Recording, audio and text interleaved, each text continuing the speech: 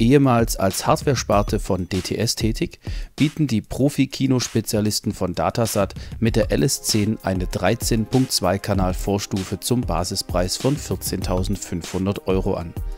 Die LS10 ist darauf konzipiert, möglichst viel von der hauseigenen Profi-Kinokompetenz in ein Consumer-Gerät zu packen und kommt mit aktuellen Video-Features sowie vielen Einstellmöglichkeiten. Gegen Aufpreis kann die LS10 mit einem Auro 3D-Decoder sowie Direct 2 versehen werden. Dank teilmodularem Aufbau sind auch zukünftig Upgrades möglich. Hollywood zu Hause. Heimkinogenuss in Vollendung. High-End-Profi-Kinotechnik von den ehemaligen DTS-Spezialisten trifft modernen, intelligenten Purismus auf High-End-Niveau für hochklassige Heimkinos. Das ist die Datasat LS10. Vor dem Hintergrund, dass die RS20i nicht für jedermann erschwinglich ist, haben sich die Datasat-Ingenieure überlegt, wir bringen eine Version davon raus, die um ein paar Features abgegrenzt ist, letztendlich aber möglichst dieselbe Klangperformance für deutlich weniger Geld bieten soll. Und dieses Gerät ist dabei rausgekommen. Ein großer Unterschied zu den klassischen Consumer-Vorstufen, den findet man schon auf dem Datenblatt, nämlich die LS10 beherrscht 13.2 Kanal Processing. Bedeutet 13 Full-Range-Kanäle, zwei unterschiedliche Subwoofer. Und das sind dann im Detail zwei Kanäle mehr als zum Beispiel die Marantz AV8802, die diesbezüglich ja schon die Referenz im Bereich der Consumer-Vorstufen darstellt. Und mit dieser Konstellation hat man dann eben gerade bei sieben Lautsprechern auf Ohrhöhe dann nochmal die Möglichkeit, sich mit 3D-Sound richtig auszutoben, was Dolby Atmos betrifft oder Auro 3D, sprich Voice of God oder High Center Channel sind hier eben deutlich mehr Möglichkeiten gegeben. Generell die LS10 in der aktuellen Version, die gibt es seit April 2016. Die kommt standardmäßig ohne Aufpreis mit Dolby Atmos Decoder und in Zukunft dann auch, wenn die Firmware verfügbar ist, kostenfrei noch DTS X. Wer Auro 3D möchte, der wird mit dem Gerät ebenfalls glücklich werden. Man muss dafür gar keine Änderung groß vornehmen, sprich Gerät ausbauen oder einschicken, entsprechend Hardware. Das ist genau wie bei Marantz. Der einzige Unterschied, hier nimmt das Konto dann doch deutlicher ab als bei Marantz mit dem 150 Euro Upgrade, denn hier bezahlt man als Kunde satte 3000 Euro für den Auro 3D Decoder. Der Grund ist relativ einfach. Wir haben hier viel selbstprogrammierte Software. Es ist mehr Aufwand, hier eine Auro 3D-Implementation zu machen, als es jetzt bei einem Standard-DSP-Prozessor der Fall ist. Außerdem ist es hier schlichtweg so, dass die Entwicklungskosten auf deutlich weniger Geräte umgelegt werden müssen als im Hause D&M. Wenn wir jetzt schon von Prozessoren sprechen, werfen wir gleich mal einen Blick in das Gerät rein. Da stellt man fest, dieser high-endige Purismusgedanke springt einem auch schon visuell gleich ins Gesicht. Wir haben hier vorne eine Abtrennung für das Gerätedisplay und generell vom gesamten Schaltungslayout fällt auf, dass die LS10 so konzipiert ist, dass hier immer möglichst kurze Signalwege im Fokus standen. Aus dem Grund ist das Netzteil hier sehr zentral platziert, befindet sich mit auf dem untersten Board. Hier drüben haben wir den Haupttrafo.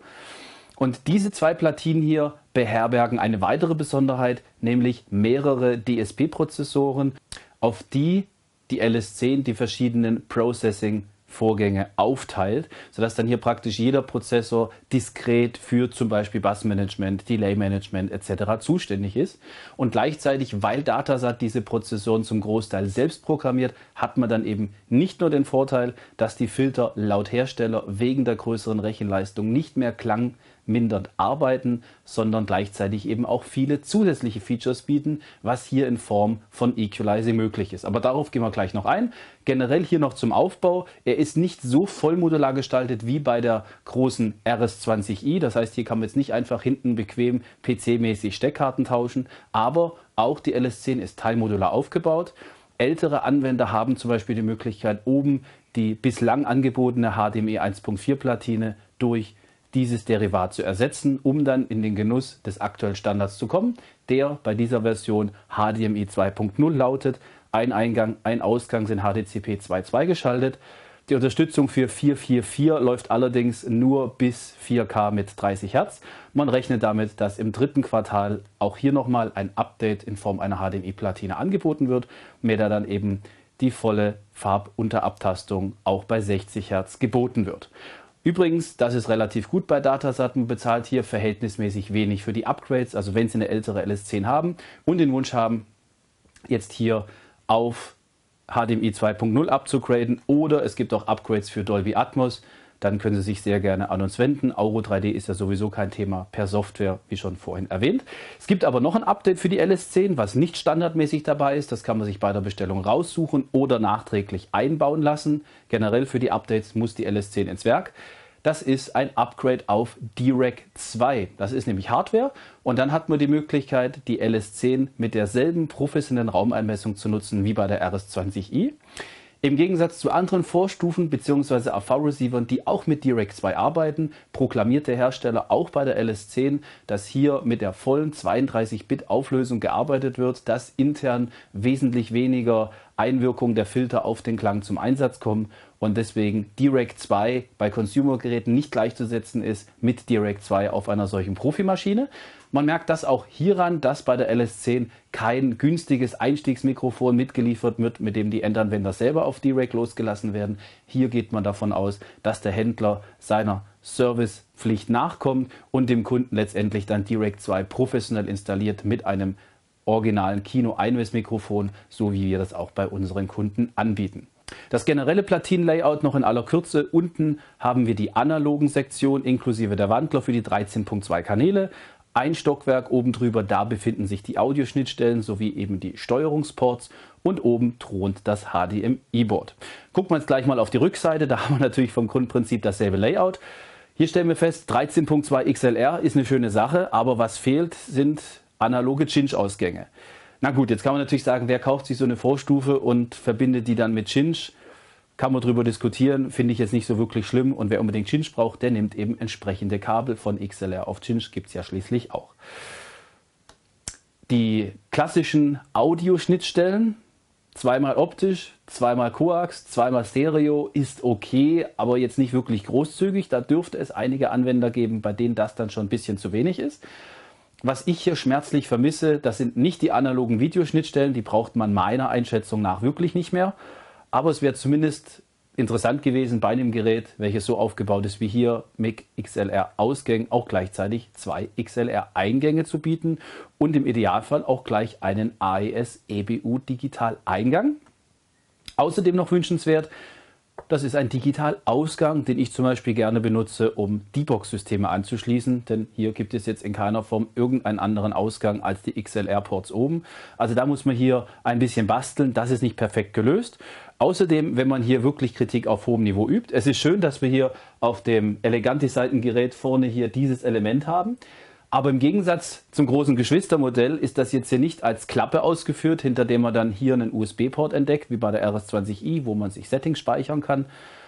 Das wäre es hier jetzt letztendlich fest ausgeführt und das wäre eigentlich doch eine schöne Sache, um hier noch eine Front-AV-Schnittstelle zu implementieren. Aber gut, Gucken wir wieder zurück auf die Rückseite. Wir haben hier einen USB-Port, mit dem man einen PC direkt anschließen kann, um die LS10 als Soundkarte zu nutzen. Generell kann man auch hier mit Hilfe von USB-Sticks Konfiguration speichern und zurückladen. Das ist auch sehr komfortabel.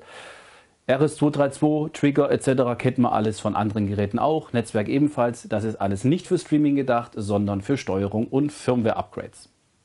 Was mir hier generell sehr positiv wiederum auf, ausfällt, ist die komplette Qualität vom Gehäuse, von den Anschlüssen in Bezug hier hinten auf die Chinch-Buchsen. Also das ist High endig ausgeführt und das, obwohl eigentlich Datasat aus dem Profibereich kommt, wo man jetzt nicht so extrem viel Wert drauf legt, dass man ordentliche Chinchbuchsen verwendet. Im Gegensatz zur RS20i, und da merkt man, dass dieses Teil dann schon so mit einem Fuß in der Consumer-Ecke steht, haben wir hier jetzt auch ein Infrarotfenster. Die Fernbedienung gewinnt zwar jetzt nicht wirklich einen Schönheitspreis, aber es ist immerhin eine dabei, mit der man dann das Gerät relativ einfach steuern kann. Sprich, es ist dann auch möglich, hier zum Beispiel mit einer Logitech Harmony die LS10 zu bedienen, was hier mit einer RS20 gar nicht erst geht, denn die funktioniert ausschließlich per Haussteuerung über Netzwerk, über VNC oder über RS232. VNC ist ein gutes Stichwort, denn auch die LS10 ist dafür gemacht, dass man die komplette Profi-Konfiguration per Fernwartungssoftware VNC über einen PC vornimmt, geht aber letztendlich auch über Tablets.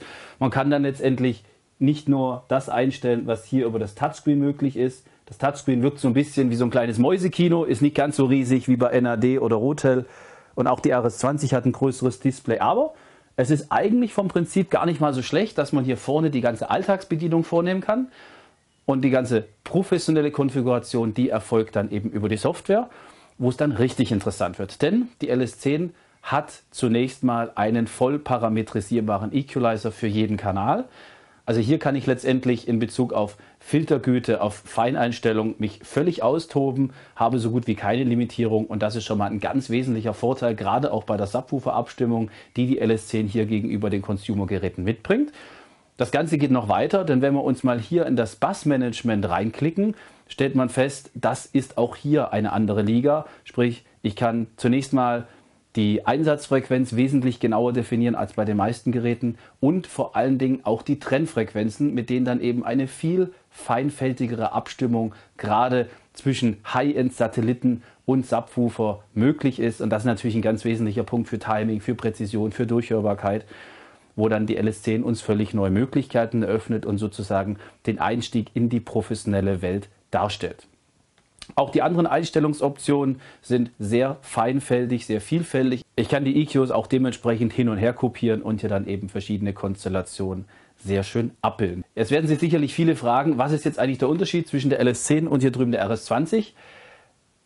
Relativ einfach. Die RS20i hat den vollmodularen Aufbau. Außerdem gibt es keine digitale Frequenzweichenfunktion in der LS10.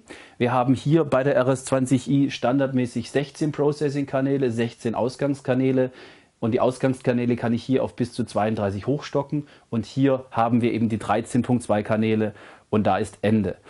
Ansonsten gibt es hier noch einige Klangregler zusätzlich, wie zum Beispiel den Drittel-Oktav-Equalizer, aber vom Grundansatz her das Basis-Decoding, der Bass-Manager, der Parameter-Equalizer, das ist durchaus vergleichbar zwischen beiden Geräten. Und in 80 Prozent der Fälle reicht die LS10 von der Funktionalität aus, während beide Geräte ansonsten durch den ähnlichen Aufbau dieselbe Abstimmung dann sehr ähnlich spielen. Also viele Anwender bräuchten gar nicht mal unbedingt die große RS20i, die ja auch Nachteile mit sich bringt, weniger Eingänge, komplizierter bei der Steuerung, sprich keine Infrarotfernbedienung und die sollten dann eigentlich mal in Erwägung ziehen, mit der LS10 eventuell glücklich zu werden. Von den Features her gibt es nicht allzu viel zu erzählen. Wie schon erwähnt, kein Streaming. Wir haben auch hier bei den Video-Features nicht allzu viel zu bieten. Die zwei HDMI-Ausgänge, die sind parallel geschaltet, damit man eben verschiedene Displays, Schrägstrich Projektoren gleichzeitig anschließen kann. Ein On-Screen-Menü gibt es hier nicht. Und man beschränkt sich hier auch bei den ganzen Decodern auf das, was man wirklich braucht, sprich 3D-Sound, HD-Tonformat, Stereo aber darüber hinaus gibt es hier nicht nochmal allzu viel. Auch das ist jetzt keine Vorstufe, die den Anwender mit sehr vielen verschiedenen DSP-Simulationen hier probiert für sich zu gewinnen. Ja, soviel in aller Kürze zur LS10. Hier nochmal alle wichtigen technischen Daten in der Zusammenfassung.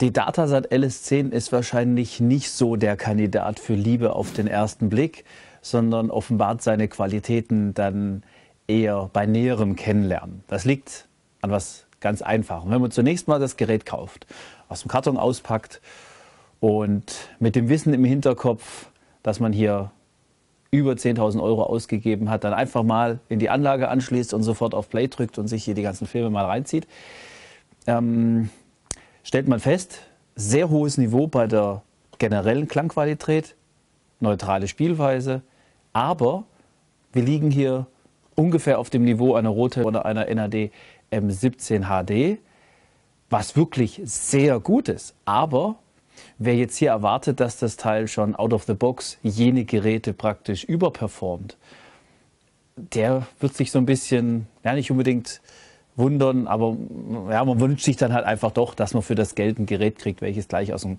Karton heraus dann noch ein bisschen mehr begeistert. Also wir sind hier rein vom Grundklang nicht ganz auf dem Niveau einer Bryston SP3, die dann eben gerade im Mittelhochtonbereich noch ein bisschen feiner gerade Sprachakzentuierungen rausarbeitet. Aber wir reden jetzt ja vom Standardklang. Und jetzt ist es ganz wichtig, bei einer Datasat LS10 zu wissen, wir sind nicht mehr im Consumer-Bereich und haben deswegen hier durch viele selbstprogrammierte Softwareroutinen und eine andere DSP-Struktur komplett andere Möglichkeiten, den Klang anzupassen.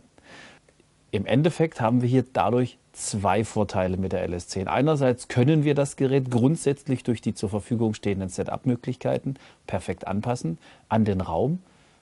Und zum anderen haben wir bei diesen Rechenoperationen keinen, zumindest für mich, hörbaren Klangverlust. Also anders als jetzt eben bei diversen Consumer-Geräten, die hier mit anderen Soft- und Hardware-Lösungen arbeiten.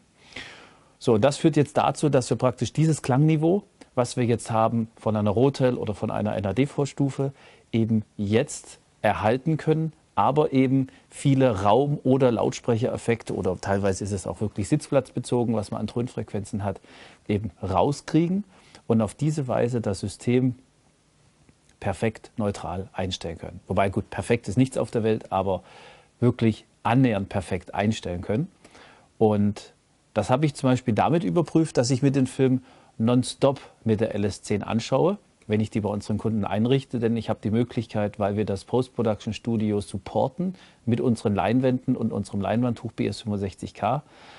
Dort wurde dieser Film produziert und ich habe die Möglichkeit, diesen Film dort zu hören. Also habe ihn schon ein paar Mal gehört, ist immer wieder interessant, dort mal wirklich die Referenz mit der originalen Quelle zu haben, um zu wissen, wie muss denn ein Film überhaupt spielen in unserem Heimkino, damit er jetzt wirklich dem entspricht, wie es eigentlich wirklich auf der Blu-ray ist und nicht so, wie man es nur denkt, dass es richtig ist. Und ich habe dabei die Erfahrung gemacht, dass es drei Bereiche gibt, wo typischerweise ein Heimkino ganz bewusst anders abgestimmt ist als jetzt eigentlich der richtige Klang der auf der Scheibe drauf ist. Punkt 1, Subwoofer, meistens überpegelt. Punkt 2, Rear Speaker, genau das gleiche. Man möchte mehr Räumlichkeit haben, meistens aus dem Grund, dass eben der Raum hinten nicht homogen zum vorderen, zur vorderen Raumakustik gehalten ist und wir deswegen hinten den Wunsch haben, noch ein bisschen mehr zu hören.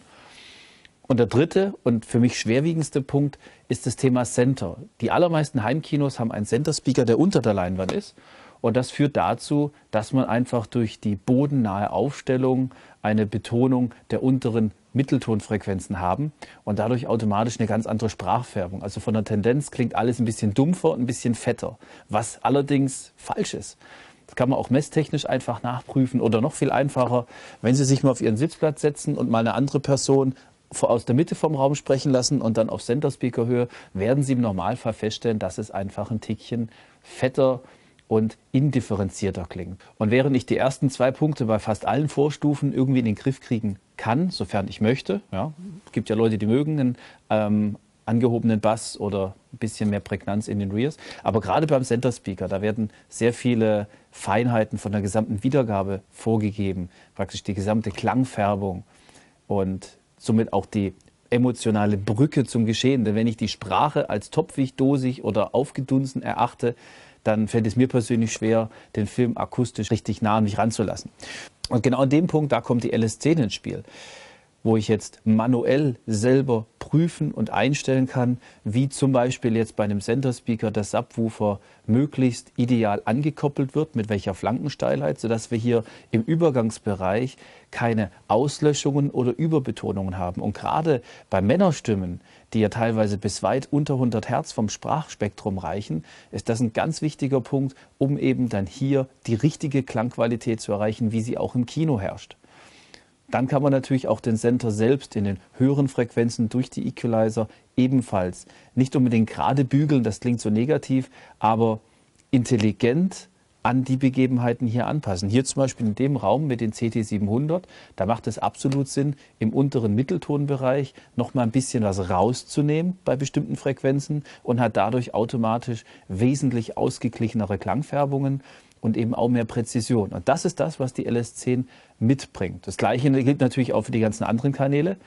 Und da kann ich in der Summe sagen, wenn ich dann mit der LS10 den Film nonstop hier anschaue, finde ich zum Beispiel gerade die Anfangssequenz interessant, ähm, als sich der Sky Marshal mit seiner Nebensitzerin unterhält über, über, über sein Kind und seine Angst vorm Fliegen und was auch immer, dann merkt man hier wirklich, wie tief strukturiert die LS10 das Ganze umsetzt wir haben dabei keinen Verlust an Präzision, dass ich jetzt irgendwie das Gefühl habe, die ganzen kleinen Geräusche, was weiß ich, die Anschnallgeräusche oder wie die Klappen im Hintergrund einfahren, das hört man alles extrem gut raus. Und Die Sprachprofile klingen genau so, beziehungsweise man kann sie so abstimmen, dass sie genau so von der Tonalität spielen, wie eben in dem Post-Production-Studio, wo es aufgenommen wurde. Was ich jetzt in diesem Kino weder mit, oder andersrum formuliert, was ich jetzt hier mit keiner Consumer-Vorstufe in diesem Maße erreichen kann. Auch wenn ich Glück habe und Odyssey halbwegs in die Richtung geht, äh, wie ich es jetzt vielleicht haben möchte, was ich jetzt hier noch nicht erlebt habe, würde es trotzdem wegen dem Klangfilter nicht dieses Klangniveau erreichen. Und da ist dann der Punkt, wo man sich als versierter Anwender wirklich mit einer Datasat LS10 richtig anfreundet und feststellt, dass man damit einen komplett anderen Weg beschreitet, als eben mit Denon, Marantz und Co., egal ob es jetzt AV-Receiver oder Vorstufen sind. Interessant ist in dem Zusammenhang dann übrigens auch, wenn man sich mal Titel anschaut, nachdem die Anlage perfekt eingemessen ist, die man vielleicht früher irgendwann mal gesehen hat, die man so ein bisschen aus dem Kopf hat. Ich finde das immer interessant, eben auch mal ganz alte Titel. Also bei mir zum Beispiel hat es richtig angefangen mit Armageddon.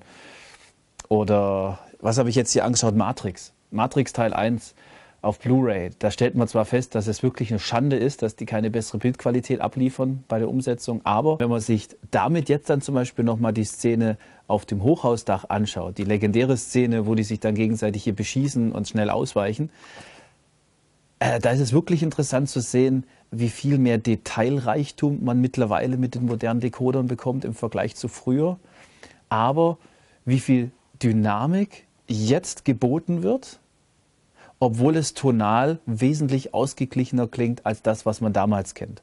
Aber ein Stück weit ist das natürlich Äpfel mit Birnen verglichen. Das letzte Mal, als ich Matrix geguckt habe, da hatte ich ein ganz anderes System. Aber es ist eben mal interessant zu sehen, wie eine gut eingestellte Vorstufe mit einem richtigen Setup, mit guter Raumakustik, alte Titel auch nochmal richtig aufleben lässt. Und gerade Matrix ist jetzt ziemlich anspruchsvoll, weil Teile der Schüsse nur von den Rear-Speakern oder hauptsächlich von den Rear-Speakern wiedergegeben werden. Dann wechselt die Kameraperspektive wieder, dann kommt es von vorne. Und da kann man auch die Kanalhomogenität wie eben auch die Dynamik sehr gut testen. Ein anderes Beispiel wäre ähm, der Titel Underworld, gerade der erste Teil, in der Szene, wo der Victor erweckt wird. Victor erweckt wird, was für ein Zungenbrecher. Und der ganze Film hat vom Grundprinzip eine relativ harte Akustik. Also die sprechen überwiegend in großen, gefliesten Hallen und auch so die dramaturgischen Effekte, die, das ganze Klicken, wenn da irgendwo einer entlangläuft. Das ist alles jetzt nicht so auf, auf einen weichen Sound ausgelegt, sondern immer ziemlich prägnant und hochtonreich. Und da merkt man jetzt auch hier, wenn man die LS10 richtig eingestellt hat, dass man bei dem Film den eigentlichen Charakter perfekt umsetzen kann, ohne dass der Film dann irgendwie anfängt ins ähm, Aggressive zu kippen, beziehungsweise ein bisschen, ich sage jetzt mal, weich gezeichnet wird, wie vielleicht mit der einen oder anderen Consumer-Vorstufe. Die Marantz zum Beispiel wäre dann ein Beispiel. Die kriegt dieses Harte nicht so wirklich perfekt hin. Während eine Rotel 1582 mit bestimmten Lautsprechern dann dazu neigt, den Film ein bisschen überhart zu präsentieren, was dann auffällt, wenn in dem Film eine der relativ vielen Spracheinlagen aus dem Off eingearbeitet wird, der dann wiederum ein bisschen wärmer klingen soll, den Zuschauer ein bisschen direkter ansprechen. Das gelingt an dem Gerät nicht so gut und da ist eine LS10 eben besser ausbalanciert. Was man jetzt natürlich auch noch berücksichtigen muss, all das, was ich gerade eben anhand von Filmbeispielen erwähnt habe, gilt genauso auch für Musik. Ganz speziell für Konzerte. Da habe ich natürlich dann auch den Vorteil, dass es natürlicher klingt, dass wir vom Timing her exakter arbeiten können während andererseits die reine Stereo-Performance auch profitieren kann von Equalizing. Wer jetzt jedoch sehr puristisch unterwegs ist, was ich absolut nachvollziehen kann. Wer sagt, ich habe schöne Standortsprecher, ich möchte die hören, wie es ist. Und bei Musik bei Stereo ist es ja auch ein Stückchen so, meiner Erfahrung nach, dass ein Raum durchaus lebendiger sein soll, dass man jetzt nicht mit äh, Processing-Möglichkeiten hier so viel arbeiten möchte, sondern eher am Originalklang dranbleiben möchte, was von der CD kommt und halt einfach den Raum auch hören möchte, den man hat. Da ist eine LS10 sehr gut, aber keineswegs besser als eine Rotel 1582, die halt hier nochmal ein bisschen mehr auf Stereo ausgelegt ist und vielleicht die ein oder andere Nuance nochmal ein bisschen besser rausschält. Also da muss man natürlich dann auch wissen, eben ob man jetzt eine reine Heimkinomaschine haben möchte, die Stereo sehr gut kann, oder ob man so ein bisschen den umgekehrten Weg gehen möchte, ein exzellentes Stereogerät, welches Heimkino sehr ordentlich mitmacht. Das ist auch nochmal ein, ich sage jetzt mal, grundlegender konzeptioneller Unterschied zwischen den beiden. Generell zur LS10, sie war recht betriebssicher in meinen Tests. Kann sein, dass man hin und wieder mal kurz einen Eingang umschalten muss, so ich sage jetzt mal alle 50 Male, wenn er irgendeinen Stream nicht sofort erkennt, oder dass man das Gerät nochmal neu starten muss ähm, einmal im Monat vielleicht. Aber das halte ich jetzt für vertretbar. Den einen oder anderen wird sicherlich bisschen im Magen liegen, dass es leider doch keine silbernen Versionen gibt, die gerade im Wohnzimmer interessant wären. Ich persönlich als Datasat-Distributeur vermisse natürlich, dass es keine kleine passende Mehrkanal-Endstufe gibt. Die große werde ich nachher noch mal kurz vorstellen, wenn es um die RS20 geht, passt aber nicht in Wohnzimmer rein und äh, wäre einfach auch preislich ein bisschen überkandidelt für eine LS10. Ja, wie schon erwähnt, Alltagsbedienung soweit okay, wenngleich ich sagen muss, die Fernbedienung entspricht eigentlich nicht dem Status von dem Gerät, ist eher so eine Art ja, funktionelle Dreingabe als jetzt hier wirklich ähm, High-End-Zubehör. Und ähm, aber es kommt auf den Klang an und was das betrifft, muss man ganz klar sagen, mit der Datasat LS10 bekommt man ein Eintrittsticket in die nächsthöhere Klasse. Was Heimkino betrifft, wenn, und das ist ebenfalls extrem wichtig, wie bei jeder Vorstufe erwähne ich das jetzt, wenn das Konzept zu dieser Vorstufe passt. Das heißt andersrum, wenn man fünf Full-Range-Lautsprecher in Kreisaufstellung um sich herum aufstellt, eine extrem hochwertige Raumakustik hat und jetzt gar nicht so in der Situation ist, dass man unbedingt hier sehr viel mit Equalizing oder Processing arbeiten möchte, wenn man das ganze Konzept darauf ausgelegt hat, in diese Richtung nichts zu machen, dann kann zum Beispiel eine Bryston SP3 ebenfalls eine interessante Alternative sein während eben eine LS10 gerade dann interessant ist, wenn man unterschiedliche Lautsprecher oder in, ich sage jetzt mal, herausfordernden Räumen, gerade Wohnräume fallen mir da ein, wenn man hier eben dann den Wunsch hat, alles auf professionelle Weise bestmöglichst aneinander anzugleichen. Wenn Sie Interesse haben an solch einer Vorstufe aus dem Profibereich, dann bieten wir in ganz Deutschland die Möglichkeit an, dass einer unserer Techniker oder ich selbst, je nachdem, wie es gerade zeitlich passt und örtlich, ähm, zu Ihnen komme mit dem Gerät. Das wird professionell vor Ort kalibriert, dass Sie wirklich jetzt nicht nur mal ganz kurz das Gerät kennenlernen, sondern wirklich, dass es einmal perfekt bei Ihnen migriert wird und Sie es dann in Ruhe mal für zwei, drei Stunden auch wirklich hören können. Also gerne gehen wir da mal in der Zeit was essen, sodass Sie in Ruhe mal einen Film anschauen können. Meiner Meinung nach ist nur das der richtige Weg, eben festzustellen, inwiefern eine Vorstufe Ihr Heimkino nochmal weiterbringt. Natürlich können wir das nicht umsonst machen. Wir müssen das selektieren. Das würde sonst einfach nicht funktionieren und wir wären dann zum Schluss irgendwie so eine Art ähm, gratis Wanderzirkus für hochwertige Heimkinokomponenten. Wir nehmen eine Schutzgebühr von 1000 Euro, damit wir wirklich sicherstellen, nur ernsthaft Interessierte dann auch zu besuchen. Und das wird dann komplett beim Kauf, egal welcher Vorstufe, angerechnet, sodass Sie dann unterm Strich letztendlich von uns grundsätzlich bei jedem Gerät einen gratis Vorortbesuch haben, bei dem wir dann im Vorfeld eben die perfekten Einstellungen ermitteln und sicherstellen, dass Sie auch wirklich das richtige Gerät bekommen. Gut, soviel dazu. Ähm, die LS10, wenn ich hier mal das Thema Preis ein bisschen ausklammer, verbindet beides auf eine gute Weise miteinander. Sie nimmt von der Consumerwelt den großen Vorteil mit, dass wir eine große Anschlussvielfalt haben, eine eingängige Bedienung und eine ich sage jetzt mal, wohnzimmertaugliche, adrette Optik ohne aktiv laufende Lüfter. Auf der, aus der Profi-Welt kommt hingegen die Einstellbarkeit, der komplette Aufbau vom Gerät, die großen Processing-Möglichkeiten. Und klanglich ist die LS10 meiner Ansicht nach zwar natürlich eher im analytischen Bereich, aber das muss ja nichts Negatives sein, wenn sie sehr präzise ist, wenn sie genau abbildet. Denn letztendlich kann ich sie ja dann über die Klangregler sowieso nochmal fein einstellen, wo sie halt dann einfach im Vergleich zu anderen Geräten hier so gut wie keinen Klangeinbußen zu verzeichnen hat. Also sie ist klanglich definitiv deutlich näher hier an den beiden großen Vorstufen dran als an den Consumer-Geräten und ist deswegen auch aktuell das, ich will nicht sagen Basisgerät, aber zumindest mal die meistverkaufste Vorstufe bei uns, wenn wir Heimkinos installieren ich will nicht das Wort Standard in den Mund nehmen, das wäre bei dem Preis, der natürlich trotz allem relativ deftig ist, ein bisschen übertrieben formuliert, aber sie ist schon wirklich sehr beliebt und für mich persönlich auch so ein bisschen der gefühlte quasi Nachfolger der AudioNet MapFile 2, eben wegen zum einen der Klangausrichtung, aber auch der Möglichkeit hier auf, ich sage jetzt mal, consumerorientiertem Niveau doch sehr viel einstellen zu können. Wenn es dahingehend Fragen gibt, Sie Wünsche an uns haben, was eben Ihr Heimkino betrifft oder komplett Heimkino, dann freuen wir uns natürlich über Ihre Kontaktaufnahme. Und ja, wenn vielleicht dann auch mal der Wunsch besteht, dass wir Ihnen mal so ein Gerät nach Hause bringen, kann es ja durchaus sein, dass auch ich mal bei Ihnen in Ihrem Heimkino stehe oder im Wohnzimmer. Ansonsten freue ich mich, wenn ich demnächst wieder auf Ihrem Monitor erscheinen darf und bedanke mich für Ihr Interesse an dem Video. Tschüss.